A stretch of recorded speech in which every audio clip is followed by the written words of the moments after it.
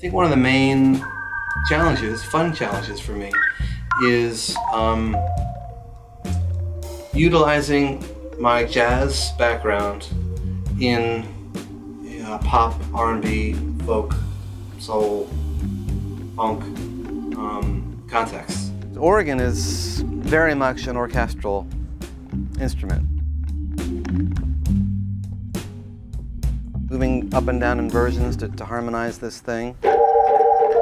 B flat, invert. I think of what a, how a singer would, how a choir would sing something like that. Even though I'm not taking a solo, I'm still thinking really melodically. We need to be able to do something like.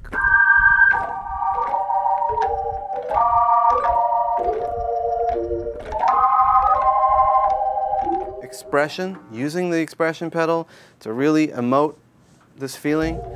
Check, check out the volume pedal, how it swells.